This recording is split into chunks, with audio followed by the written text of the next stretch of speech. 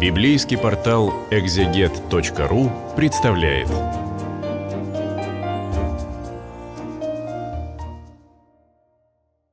Здравствуйте, меня зовут Дмитрий Георгиевич Добыкин, и мы с вами на библейском портале «Экзегет». Мы сегодня читаем первую главу второй книги Маковеев. Я читаю небольшой отрывок, а потом даю толкование.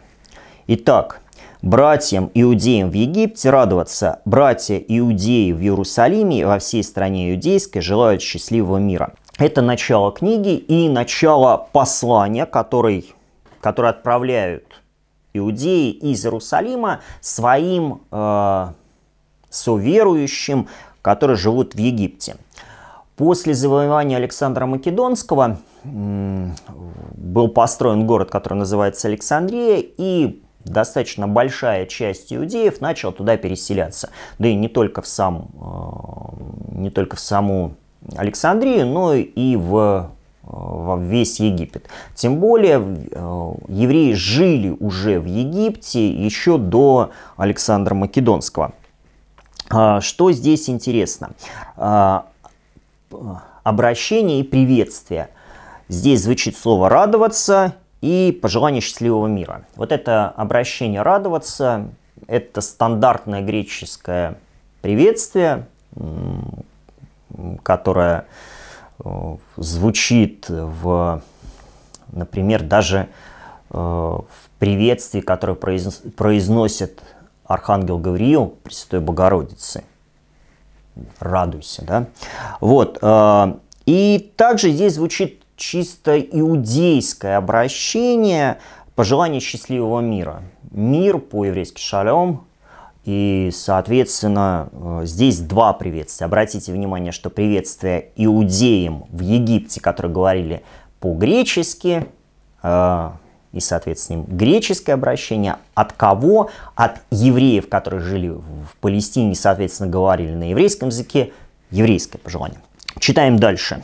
Да благодетельствует вам Бог, и да поменит завет свой с верными рабами своими Авраамом, Исааком и Иаковом. Да даст им вам сердце, чтобы чтить его, исполнять волю его все сердцем и усердную душою. Да откроет сердце ваше для закона его и повелений, и дарует мир. Да услышит моление ваше, и да будет милостив к вам, и да не оставит вас во время бедствия. Так ныне здесь мы молимся о вас. Здесь идет приветствие и пожелание.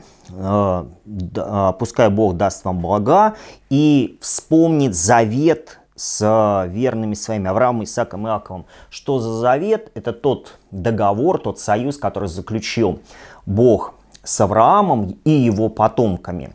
Э, Бог обещал, или так, точнее сказать, взял на себя обязательство заботиться о потомках Авраама. И вот э, здесь такое пожелание, пускай Бог э, вспомнит свое обещание. Далее говорится о том, что даст вам всем сердцем чтить его для нас сердце это орган скорее эмоций. Там, мы говорим, я люблю там от всего сердца, я всего сердца тебе там что-то дарю. Но в Библии э, сердце это скорее орган э, разума, а точнее сердце это центр человека. И э, когда идет пожелание, вот это э, чтите Бога всем сердцем, то есть вот всей своей сущностью почитайте Бога. Вот. А, далее, исполнять волю всем сердцем и усердную душою. А, а, про исполнение воли – это про исполнение, конечно, его заповеди, потому что за, заповеди есть выражение воли Божией. Все, и усердную душою. Здесь, конечно, можно поразмышлять, что подразумевается под словом «душа». Если э, рассматривать чисто ветхозаветно, душа – это скорее жизнь. И тогда ну, понятно, что здесь перекличка с, э, с тем текстом, который находится в книге Второзакония и в, ну, в традицию вошел под названием «Шма Израиль». «Слушай, Израиль». Э, и далее и люби Господа Бога твоего всем сердцем твоим и всей душою твоей. Сердце – это как центр человека, душа – это как жизнь человека. Но можно, конечно, уже рассматривать и как э, традицию межзаветную, и тогда душа – это та часть человека, которая продолжает жить после его смерти. Да откроет сердце ваше для закона его, того закона, который э, даровал Господь на горе Синай. Э, человек должен исполнять закон, э, исполнять Божьи повеления и э, также э, пожелание мира. Этот мир э, имеется в виду мир между людьми и между Богом. А в пятом стихе а, а, автор или авторы послания говорит о том, чтобы Господь услышал молитву иудеев Египта, чтобы дал им свою милость и не оставил их в гонениях. О каких гонениях идет речь, непонятно. Но, скорее всего, речь идет не о каких-то масштабных гонениях, а о тех гонениях, с которыми э, иудеи сталкивались каждый день. Иудеи со своей верой, со своими обычаями, со своими законами, со своим отсутствием идолов, с нежеланием признавать других богов. И вот с этой дистанцией с язычниками, конечно же, отторгались тем языческим обществом. И вот такие маленькие гонения, они были все время. Ну и в шестом стихе авторы послания говорят, что они молятся о э, евреях Египта. Хорошо. Дальше. В царстве Димитрия в 169 году мы, иудеи, писали к вам в скорби и страданиях, постигших нас те годы, как отложился Иосон и соумышленник его от святой земли и царствия. Они сожгли ворота и пролили невинную кровь. Тогда мы молились Господу и были услышаны, и приносили жертвы и семидал, и выжигали светильники, и предлагали хлебы. И ныне совершается праздник Кущей в месяц Хаслев. Значит, что за Дмитрий? Это один из правителей Сирийского царства. Здесь упомянут 169 год, это 124 год до Рождества Христова. И вспоминается событие, которое более подробно рассказывается в Первой Маковейской. И здесь рассказывается о Ясоне, который попытался за деньги получить э, место первого священника. Все это привело к э, большим проблемам, и кончилось это тем, что сожгли ворота. Э, это ворота Иерусалимского храма, невинная кровь, это кровь иудеев. И рассказывается о том, как эта проблема была решена. Э, молились Господу, приносили жертву и семидал. Семидал – это очень тонко перемолотая мука, из которой пекли специальные хлеба. Эти хлеба использовались в жертвоприношениях. Вот, э, возжигались светильники, имеется в виду, скорее всего, светильники в храме. Предлагали хлеба, э, эти хлеба, это, видимо, те хлеба предложения, которые лежали в Иерусалимском храме, во святилище. И э, вот э, здесь описывается то, как Господь э, избавил иудеев. И э, в 9 стихе говорится о том, чтобы иудеи ныне совершайте праздник Кущи месяц Хаслев. Вот здесь это интересно, о каком празднике Кущи в, этом месяце идет речь. Вообще-то праздник э, Кущей совершается в месяц Тишри, этот месяц э, – это осень, это а, э, праздник, который описан в Пятикнижии. И, конечно, он не совершается в другой месяц. И, видимо, здесь речь идет о празднике, который называется Ханука. Ханука – это праздник, который установили иудеи – в память об очищении храма после того, как он был осквернен Антиохом Епифаном в, 60, в 160-е годы до Рождества Христова. И вот здесь призывается исполнять э, или совершать этот праздник. Значит, э, праздник уже совершается, то есть это не первый призыв, потому что здесь другая дата. Праздник уже совершался, но теперь его должны совершать по э, все, э, всему миру, где живут иудеи. И вот это письмо как раз призыв к этому празднику. Почему он назван праздник Кущей? Э, потому что, возможно, какие-то элементы праздника Кущи перешли на праздник Хануки или праздник очищения. Хорошо. На этом заканчивается первое письмо и начинается второе. В 188 году живший в Иерусалиме иудей старейшины Иуда арестовал учителю царя Птолемея, происходящее из рода помазанных священников и пребывающих в Египте иудеям радоваться и здравствовать. А, здесь э, снова обращение к евреям, которые жили в Египте. И вот, э, пожалуй, одна из загадочных фигур, которая здесь упомянута, это некий Аристовул или Аристабул. Он назван учителем царя Птолемея, и при этом он происходит из рода священников, и при этом учит э, Птолемея. А, кто этот Аристаул, не очень понятно, потому что есть разные предположения. А, но вот среди учителей а, царя Птолемея, а их было много, и нам, кстати, тоже вопрос, о каком царе идет речь. И вот среди этих царей не было человека, которого звали Аристовул, который был бы действительно учителем царя. Однако есть несколько человек, и даже там называют конкретного человека, который, возможно, был, вот, э, к которому идет речь про Арестового. Действительно, был такой, иуди, э, был такой писатель, он был, правда, язычником, и он написал очень интересное произведение, в котором дал аллегорическое толкование пятикнижия. Вот, но это, э, возможно, это был, э, о нем идет речь. А возможно, что был действительно какой-то человек, который учил во времена царя Птолемея, его звали Аристовул, он происходил из священнического рода, но сведений до нас не дошло. Итак, продолжаем. Избавленный Богом от великих опасностей, мы торжественно благодарим Его, как бы, сраж... Э, как бы сражавшийся против царя, так как он знал ополчившийся на Святой Град, ибо когда царь пошел в Персию, и с ним войско, которое оказалось непобедимым, они поражены были в храме Нанеи через обман, употребляемый жрецами Нанеи. Э, что интересно, о каком событии здесь идет речь? Это как раз речь идет о событиях, которые произошли, естественно, раньше написания этого письма, и, скорее всего, речь идет о, ну, здесь э, упомянут царь, это царь Антиох э, Епифан, который насильственно вводил греческие обычаи и греческую веру. Эта опасность прошла,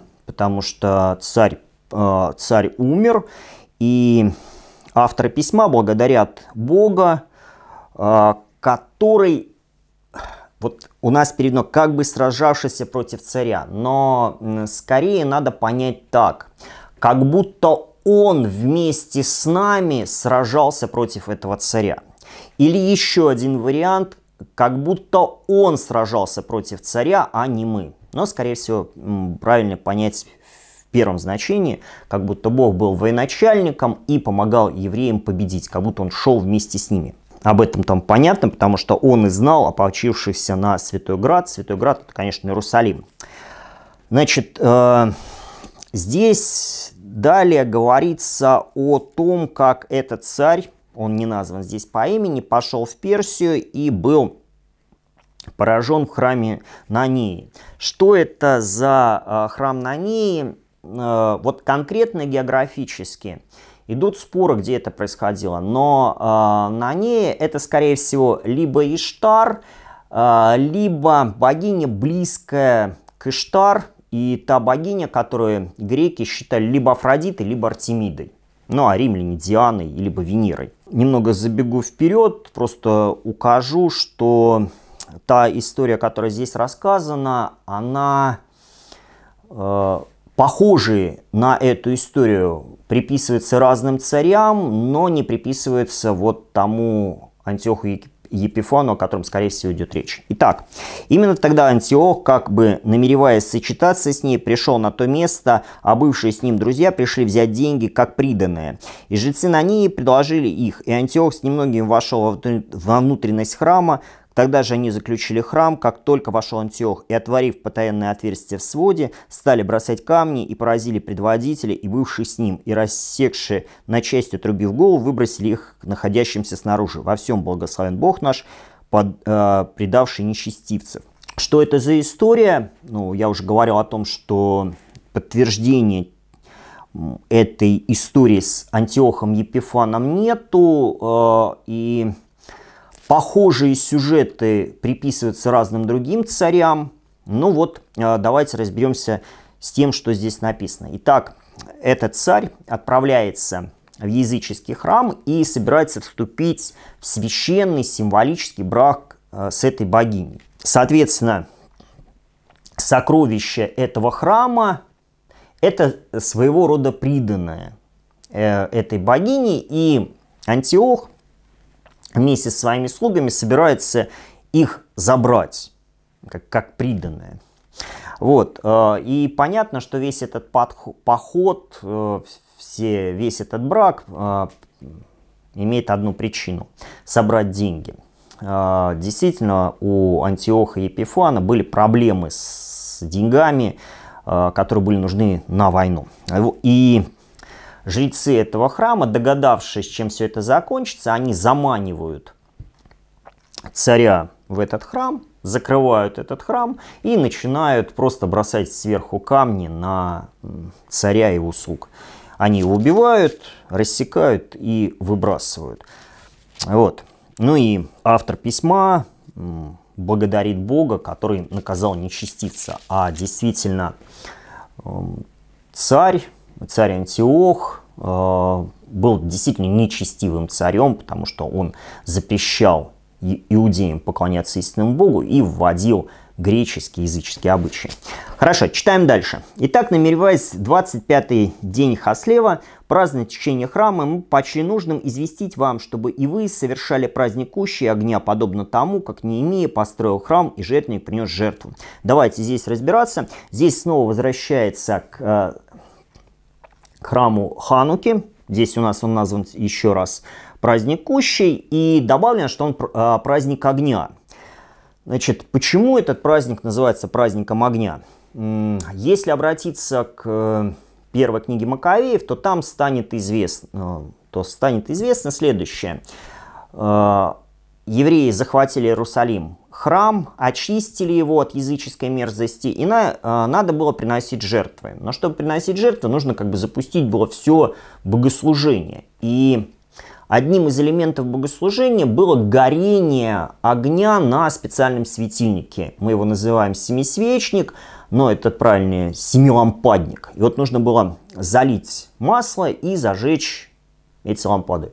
Но э, чтобы залить масло, нужно специальное масло. И процесс приготовления этого масла занимал 8 дней.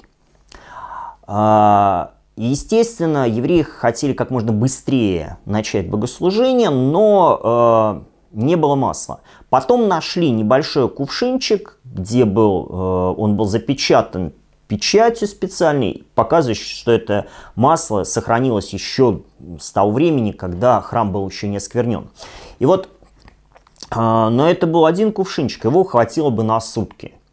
Что решили сделать иудеи? Они решили залить масло в лампады, поджечь и что будет, то будет.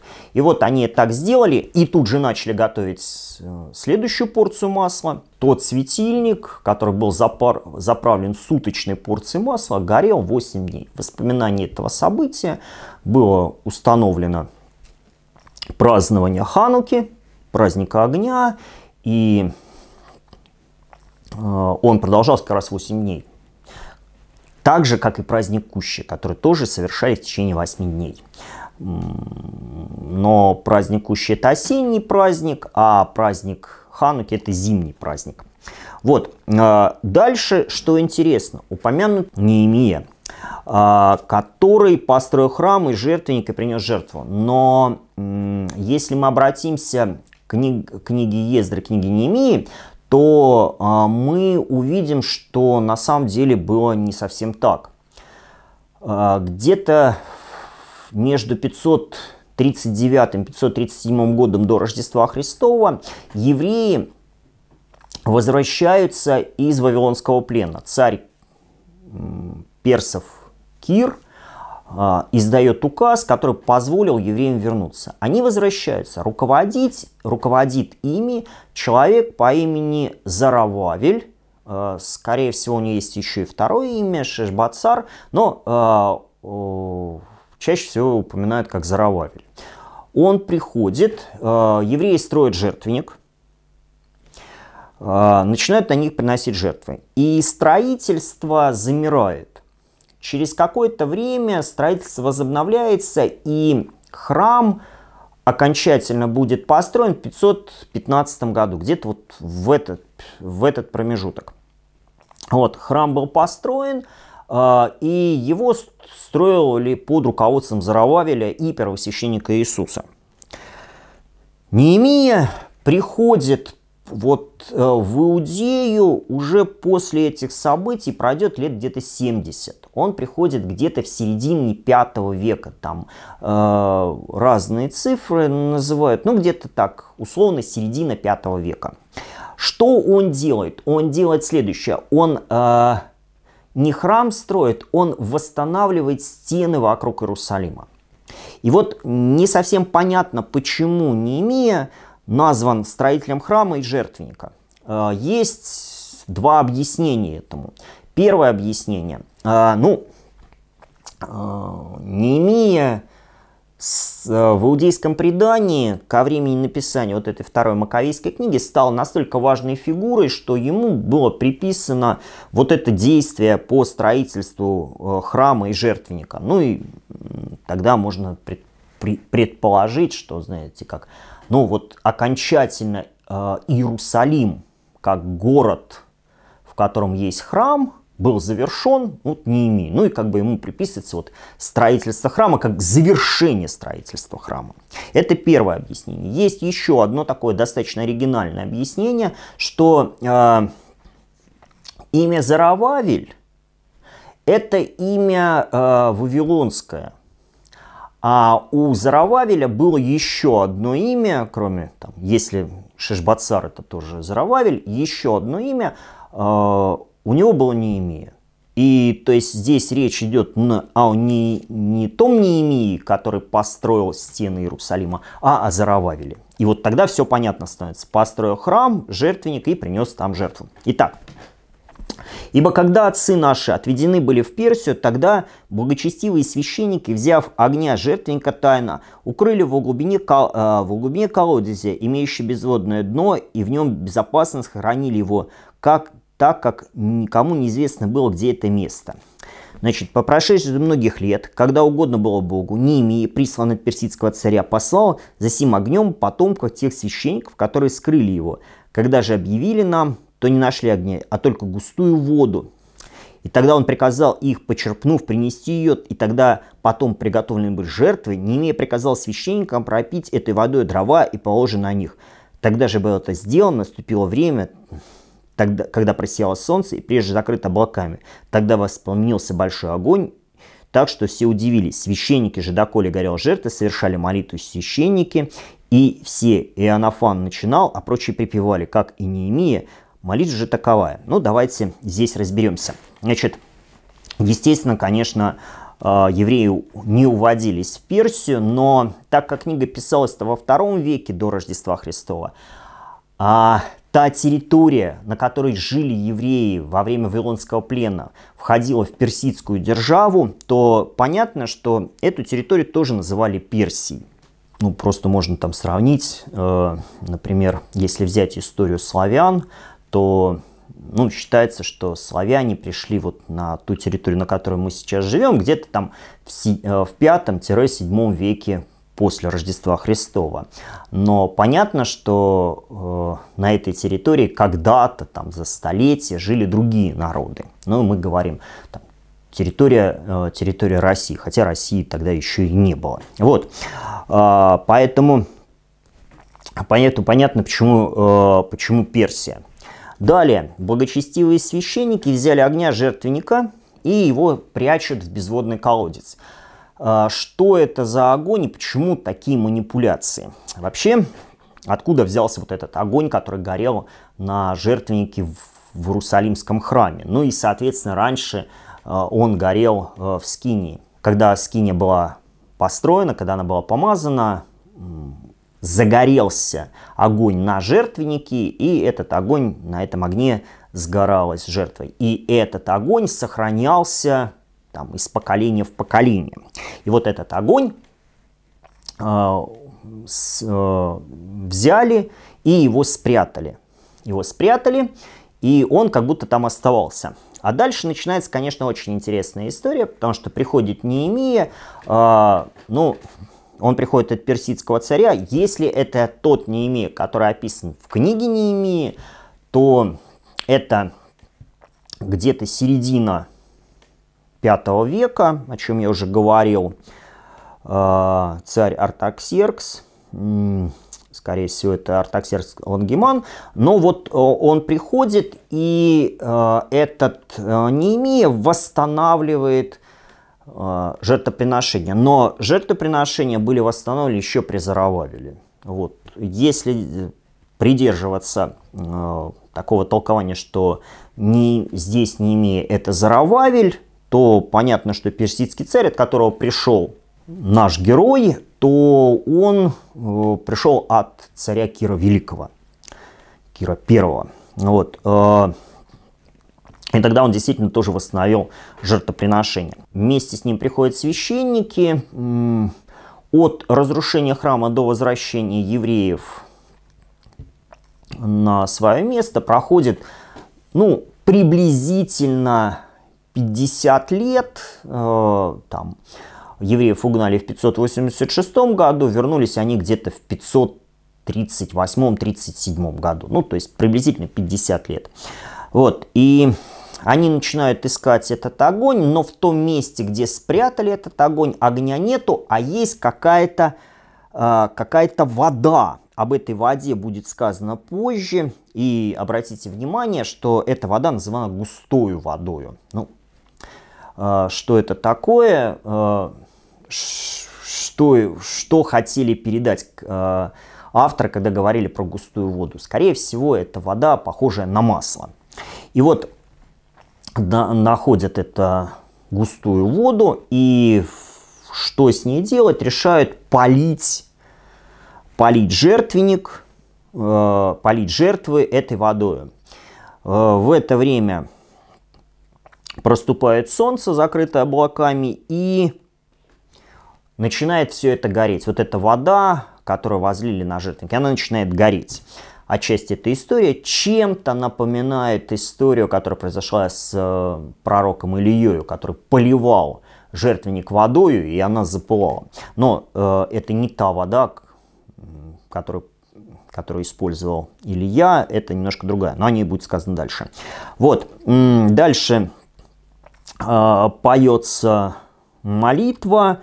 Здесь упомянутый анафан. Э, э, речь идет о первосвященнике или руководителе хора. Скорее всего, речь идет о руководителе хора, потому что первосвященник не руководил хором, он занимался своими делами, а был руководитель хора, который начинал, а прочие припевали. Это это не, не что иное, как антифонное пение у нас.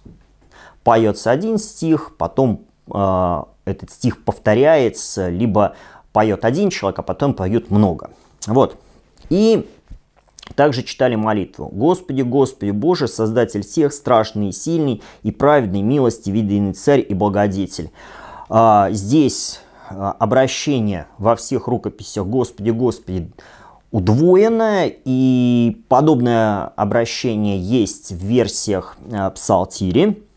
Э, он называется Создатель, страшный. Почему? Потому что человек, встречающийся с Богом, не может не испытывать трепет, не испытывать страх. Господь сильный. Здесь, естественно, греческое слово используется, но вот само понятие, что Бог сильный, это э, идея, которая встречается в Ветхом Завете. Сильный Бог, он сильнее всех, сильнее всех языческих царей, языческих народов и языческих богов. Он праведный, э, то есть э, все, что делает Бог, все правильно, в то же время он милостивый, он э, единственный царь для земли и конкретно для Израиля, и он тот, кто дает всякие блага.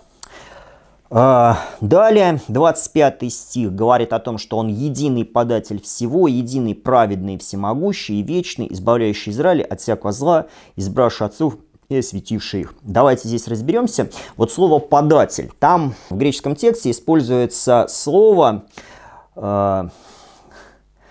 э, э, которое можно перевести «руководитель хоровода». Но в данном случае имеется в виду не дирижер, а тот человек, который э, командует и заботится о вот этом, вот этом хоре или хороводе.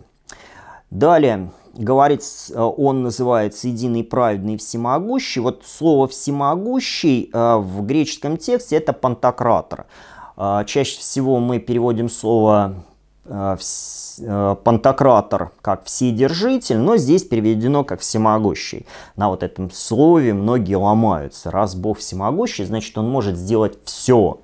Ну и как бы а, тогда задается вопрос, а может ли Бог создать камень, который сам не подымет? А, может ли Бог сделать так, чтобы его не было? Или может Бог поменяться с дьяволом местами? Ну или там, можно ли создать щиты, которые не пробьют никакие копии, и копии, которые пробьют любые щиты? Ну, вот, э, такие несколько абсурдные вопросы.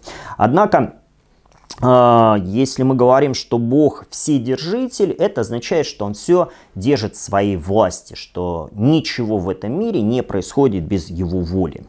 Ну, а, Он назван вечный, то есть не имеющий ни начала, ни конца. Это тот, кто избавляет, а, спасает Израиль от всякого зла, который избрал отцов, то есть предков еврейского народа и осветил их. Что значит осветил? Это значит отделил от других народов. Э, далее просится, прими жертву сию за весь народ твой Израиль, и сохрани сей удел твой, и освети его. Собери рассеяние наш, освободи порабощенных язычниками, презри на униженных и презренных, и да познают язычники, что ты Бог наш. По краю угнетающих, обижающих нас с надмением. Насади народ твой на святом месте твоем, как сказал Моисей. Ну, здесь сложности нету, просится о принятие жертвы, потому что Бог может не принять жертву, потому что жертва принесена либо плохая, э, то есть она не соответствует тем стандартам, которые прописаны в законе Божьем, либо она при, принесена, об этом уже мы можем говорить в это время, с недостойным сердцем. Э, значит, Израиль назван народом Божьим, э, уделом, уделом его и просится, чтобы Бог осветил его. Значит, здесь, ну, можно сказать, э, перекличка или обращение к тексту, который находится в 19 главе, главе книги «Исход». Бог обещает Израилю сделать его своим уделом, своим народом и народом святым. И здесь вот просится, э, сделай нас своим уделом, сделай нас своим народом и э, освети, то есть отдели от остальных народов. Далее говорится про рассеяние. А, что за рассеяние?